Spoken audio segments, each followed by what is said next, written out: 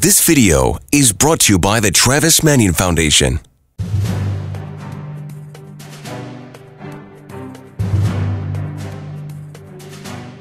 Yeah, my father was a Marine, so he was, um, you know, I guess once a Marine, always a Marine. He instilled his uh, pride that he had in serving the country. He was a paraplegic. He had, uh, he was injured uh, while in the service. We received our orders probably a month after being there. When we would go into an engagement, there's quite a few times where you know I wasn't sure if we were going to make it out or back. I was uh, up on top of the tank, and from one minute to the next, I was fine. And I just must have been shrapnel. They called my arm. Immediately, I, I couldn't move my arm, and uh, we uh, used duct tape and, and some medication to get me through that second, that instant, when you have a choice to stand and do your job. And I think that's all I did when I was there. I, I, I wanted to do the best I could. I received awards for what I did. did. They're not so important. I try to instill with my children the same compass that my father had had with me, where it takes some pride and serve your country. They diagnosed diagnosed me actually in '95 with PTSD, and to be honest, I thought it was some sort of joke. I, I, I didn't get it. I didn't get it, and my life was a turmoil. I had to do a bid for a basement, and we opened the door, but Kathy, she uh, she opened the door, and uh, it was love at first sight, I guess. And he came in the door, and, and just the rest is kind of history. He got the job. he just had this way about him where you could just tell that he he had been hurt in the past.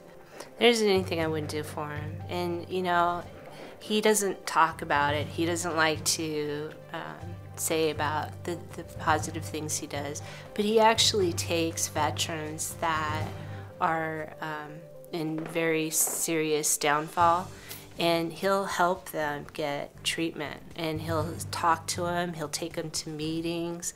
We uh, received uh, damage from uh, hurricane sandy. The hurricane hit and, and we got um, tree limbs that went straight through the ceiling and had gutter damage and some other things. Our insurance company gave us a little pushback from the beginning he tried so hard to manage the process and get the insurance company to reimburse us so we could fix the roof and the gutters and everything. And to make a long story short, uh, they they spread it out so long that they said that it expired and they refused to give us any funding whatsoever. Kathy had written out written to us um, on behalf of her husband Jack, who is a Gulf War veteran. He served in the Army. And they had received quite a bit of storm damage um, a few years ago, and they've been living you know, in their home with this damage. And Jack, due to his um, service in the military, had received quite a few injuries. So, you know, repairing their home probably wasn't going to happen without some help from somebody else. Uh, Jack's story was very inspirational and was also very comforting, especially since he was a, a vet and we love to serve those who serve our country because we love our freedom. And his story just really hit home of where we want to help out in the community. We also strive ourselves on setting the highest standards in the industry. So we not only want to try to do that, but we also feel it's just as important to give back to the community and help others who are in need.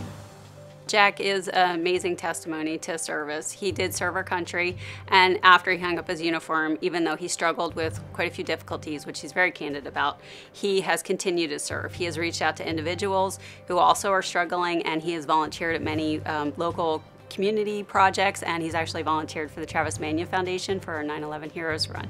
CBS Radio has been an amazing partner for the Travis Manion Foundation for quite a few years. They've been very supportive of all we do, and they've done uh, above and beyond to support the military, and especially military in our community.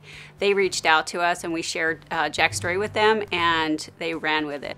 CBS has uh, been out here and put together a great program and brought in some great people all we were looking for was a loan to get get get a new roof on the house. It's just amazing that uh, people actually are willing to give as much as they are. It's uh, overwhelming, really. Um, it's very appreciated. Appreciated. Can't can't thank people enough.